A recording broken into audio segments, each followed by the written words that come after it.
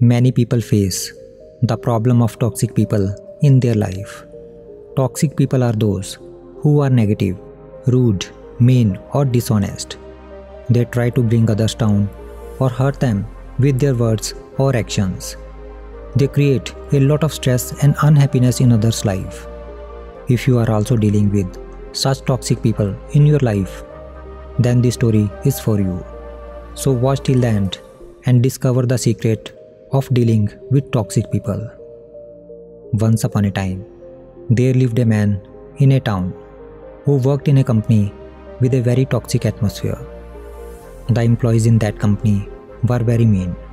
They often tried to sabotage each other's work and spread rumors behind their backs. They complained and gossiped about each other all the time. Due to this, there was a lot of unfair politics in his office. The man was fed up with this kind of environment and wanted to change his job. But he was not sure what to do. Near his office, there was a Buddhist monastery. The man often used to visit it.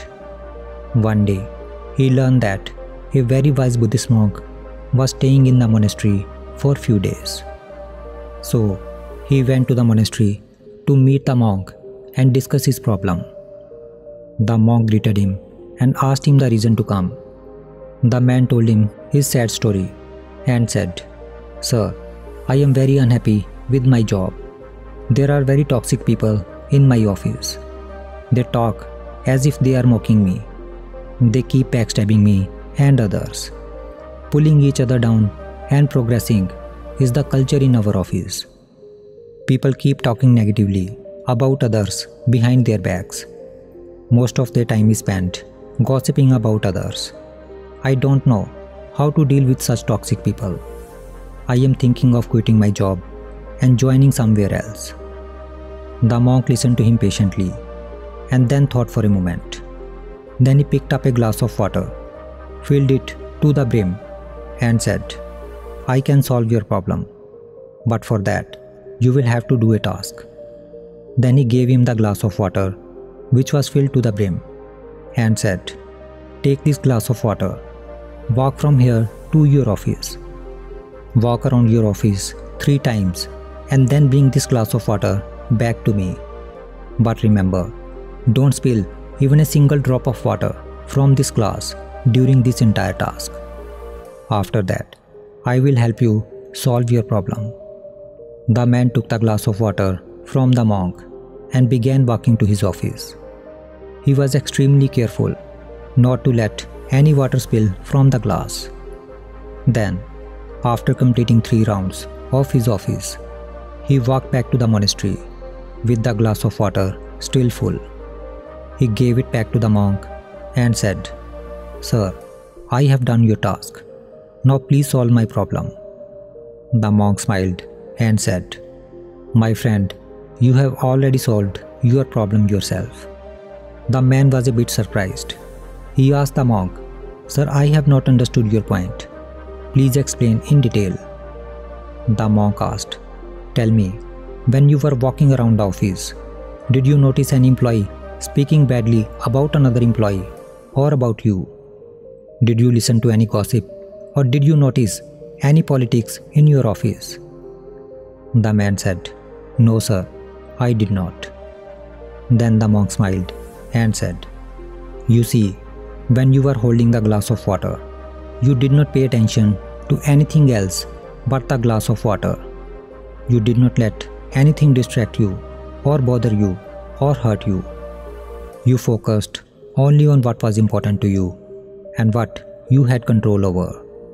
And the same goes with our life. When we are focused on our work, our priorities, we don't have the time to see all the drama around us.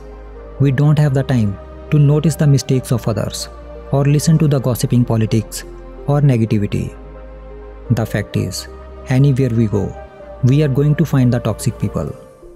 Change of job or a change of situation does not necessarily ensure freedom from such people. We should certainly do what we can to positively change things around us. But when we know that we have done our best and things still remain more or less the same, then we should shift our focus to glass of water, which is our work, our priorities, our growth and our excellence.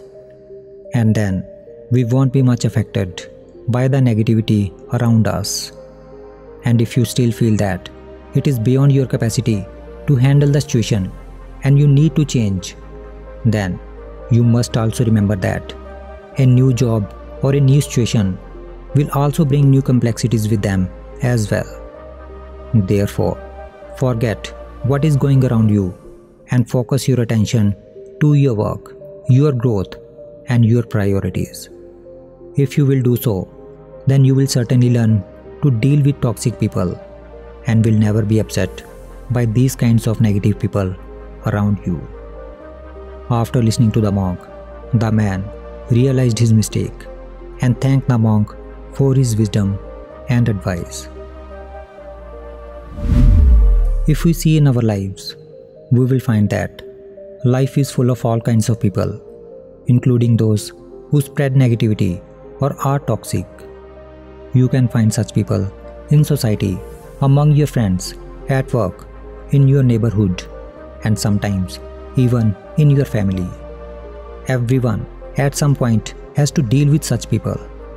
But, like in this story, the monk advised the man to focus on his work and personal growth rather than paying attention to the toxic people around him. We should follow the same advice. Don't let negative people and environments consume you. Instead, keep your attention on your personal and professional development. Concentrate on your work, your priorities, and growing as a person. This will help you manage toxic situations and handle negative people with strength and calmness. Therefore, don't let toxic people ruin your happiness or peace of mind, but keep your focus on what truly matters to you and what you can control.